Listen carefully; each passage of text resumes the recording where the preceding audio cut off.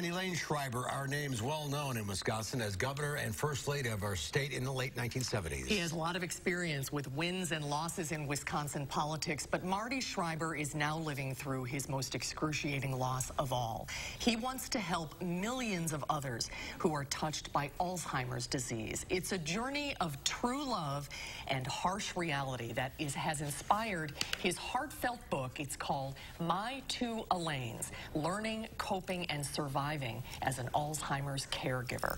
Governor Schreiber, welcome to Live at 4. It's so well, nice to, see, see you. again. It's good to be here, and thank you so much for the opportunity. Well, this thank might you. be your most important campaign of all. Why did you decide to write this book? Well, I, if Alzheimer's is bad, ignorance of the disease is worse. And I don't mean ignorance as it relates to how the brain works. I mean ignorance of the disease by caregivers, the medical profession, employers.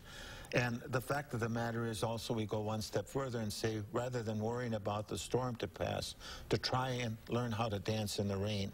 The point of the matter is this disease is so devastating and we, we I did not there are some things that I learned too late.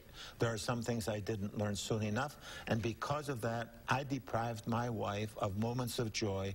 And I also deprived myself of being the best caregiver and also even the best father and the best grandfather because as I traveled this caregiver's path, it affected my life, my attitude, my psychology, and, and, and my health. And so I said, I've got to do something to help other people be aware of what this journey is like.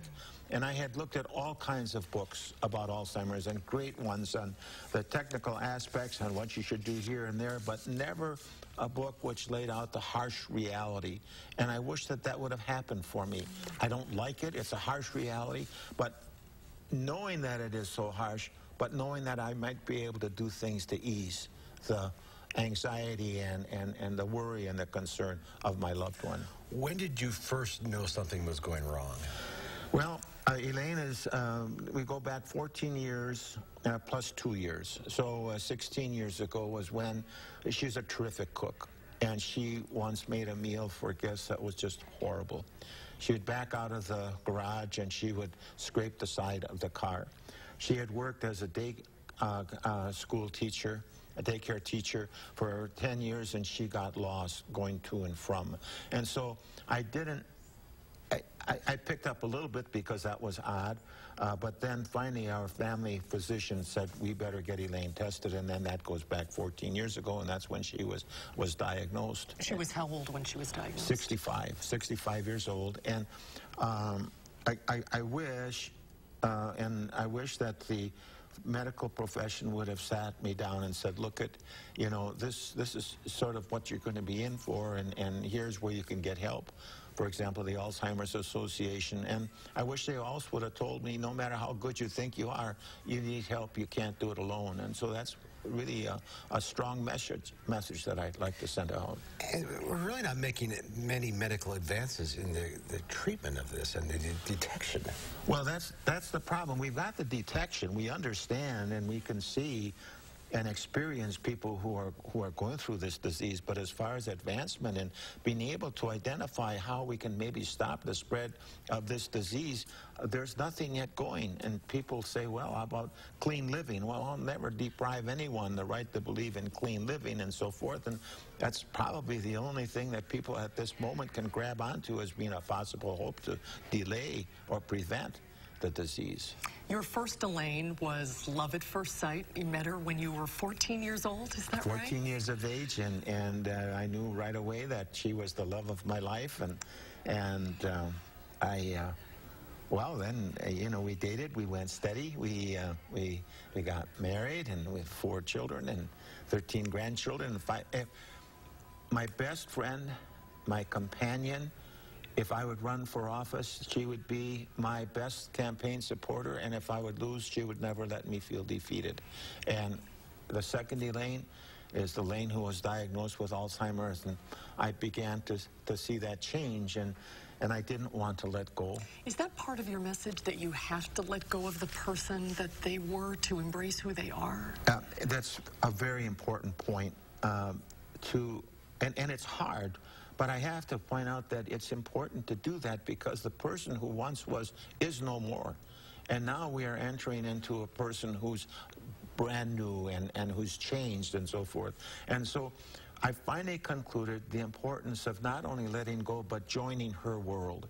And if, if you can envision a funnel, and you hold a small, small part by your eye and you look up and you can see the blueness of the sky and the hope of tomorrow in an Alzheimer's patient, what happens, that funnel becomes inverted, and now the large part is by their eye, and all they see is a small, that's their life in front of them.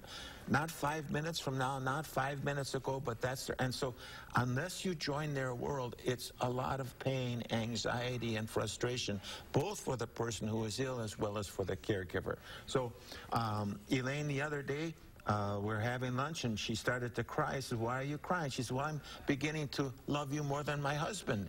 Well, I didn't ask her what's wrong with your turkey husband. I didn't do that. But the point of the matter is our lives were touching. And I did not get involved in trying to convince her, you know, I really am your husband. No, that's not important. Um, once she asked me how my parents are. And I said, well, they're both dead.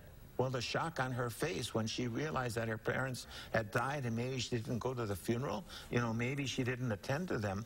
Now she asks, I see, your parents are both very happy. Your mom's at church, she likes working there, your dad loves her sports. Oh, she said, that makes me so happy. And that's therapeutic fibbing. If I would have thought about therapeutic fibbing 59 years ago when I first got married, or when I was running for office back there in 1978 or 1982. Can you imagine?